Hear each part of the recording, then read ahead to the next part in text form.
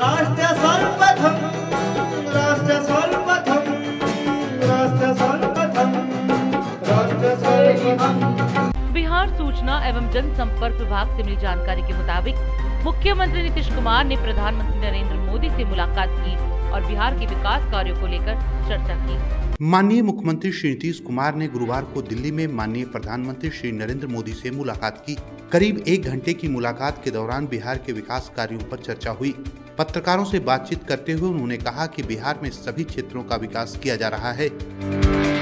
पटना के जिलाधिकारी ने 17 फरवरी से 3 मार्च 2021 तक पंचायतों में आयुष्मान पखवाड़ा का सफल आयोजन सुनिश्चित कराने हेतु बैठक की। इस दौरान उन्होंने व्यापक प्रचार प्रसार करने तथा माइक्रो प्लान के अनुरूप लाभुकों को गोल्डन कार्ड से लाभान्वित करने का निर्देश दिया। समस्तीपुर के जिला निर्वाचन पदाधिकारी सह जिलाधिकारी शशांक शुभांकर ने निर्वाचकों की सुविधा एवं सहजता हेतु समारणालय परिसर स्थित जिला योजना कार्यालय भवन में ईपी क्यूसेक का उद्घाटन किया। इस मौके पर अन्य पदाधिकारी गण भी मौजूद रहे। जहानाबाद के जिला पदाधिकारी उल्लासगंज प्रखंड के दावधू पंचायत में निर्माणाधीन इंजीनियरिंग कॉलेज का निरीक्षण किया।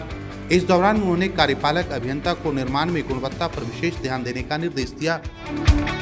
दरभंगा के जिलाधिकारी डॉक्टर त्यागराजन एसएम ने जाले प्रखंड का दौरा किया तथा नल जल योजना दाखिल खारिज, परिमार्जन पोर्टल पर लंबित आवेदनों के निष्पादन, पैक्स चुनाव एवं पंचायत चुनाव की तैयारी की समीक्षा की। इस दौरान उन्होंने कई आवश्यक दिशा निर्देश दिए। अररिया के जिला पदाधिकारी श्री प्रशांत कुमार सीएच ने अंचलाधिकारी एवं संबंधित पदाधिकारियों के साथ भू राजस्व की प्रगति एवं उपलब्धि की समीक्षा की। इस मौके पर उन्होंने आवश्यक दिशा निर्देश दिए। नवादा के जिला पदाधिकारी यशपाल मीणा ने रोह प्रखंड का दौरा किया।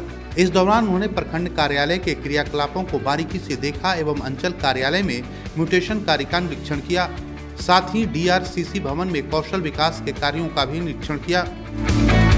सहरसा के जिलाधिकारी कौशल कुमार की अध्यक्षता में जिला स्वास्थ्य समिति के गवर्निंग बॉडी की बैठक की गई। साथ ही उन्होंने आयुष्मान पखवाड़ा के आयोजन के संबंध में समीक्षा की। गोपालगंज के जिलाधिकारी ने स्वास्थ्य विभाग के कार्यों की समीक्षा की। इस दौरान उन्होंने आरसीएच पोर्टल पर शत प्रतिशत एंट्री का निर्देश दिया।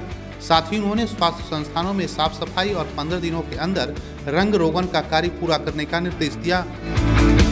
खगड़िया के जिलाधिकारी ने सभी सहकारिता पदाधिकारियों एवं कृषि विभाग के पदाधिकारियों के साथ धान अधिप्राप्ति के संबंध में समीक्षा बैठक की। एवं आवश्यक दिशा निर्देश दिए। ज़िले में अब तक लक्ष्य के विरुद्ध नवासी प्रतिशत से अधिक धान की अधिप्राप्ति की जा चुकी है।